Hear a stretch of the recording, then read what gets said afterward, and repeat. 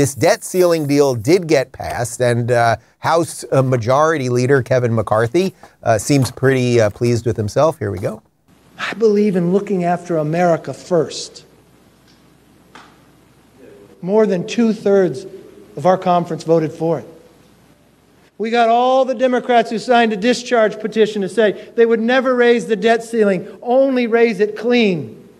We got them to vote for it too. So think about how much further we can go. I told you then, it's not how you start, it's how you finish. Each week, we have stood up for the American public, be it its strongest border security. We put the citizens of America first. And we didn't do it by taking the easy way. We didn't do it by the ways that people did it in the past by just lifting it. We decided that you had to spend less, and we achieved that goal.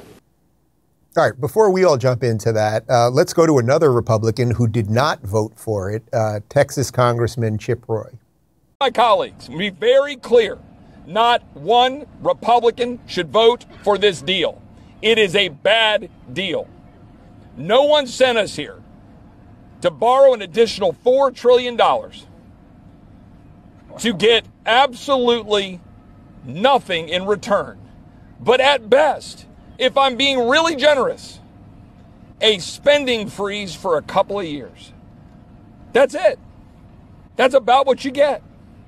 And frankly, you're going to make things worse. And my Democratic colleagues know it. That's why they're supporting it. Mm-hmm. That's why they're going around gleeful. Look, there's a reason our Democrat colleagues support this. There's a reason that Mitt Romney supports this.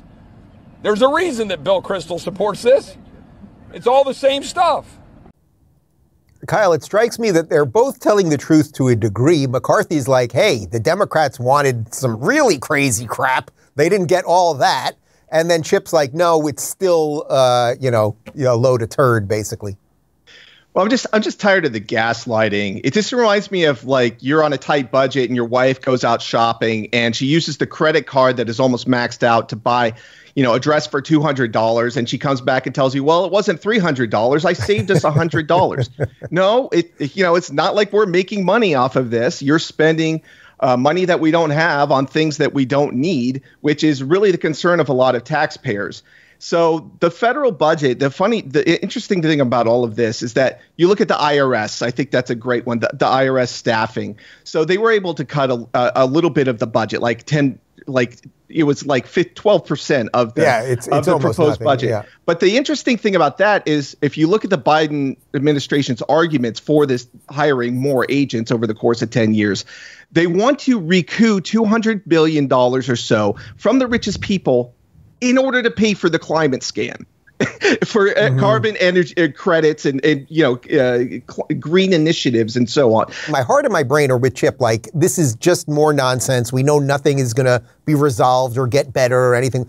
And then the purely the part of me that just understands politics is like, well, McCarthy if he doesn't do a deal, basically we know the Republicans get blamed for it, and likely we do end up in a recession, and most of us don't want to end up in a recession. Is this just kind of why politics both sucks and blows? Yes. It is. It is why politics sucks and blows. Um, but also, you have to remember that 46 progressive Democrats also voted against this bill and claimed that you know Biden had given up too much.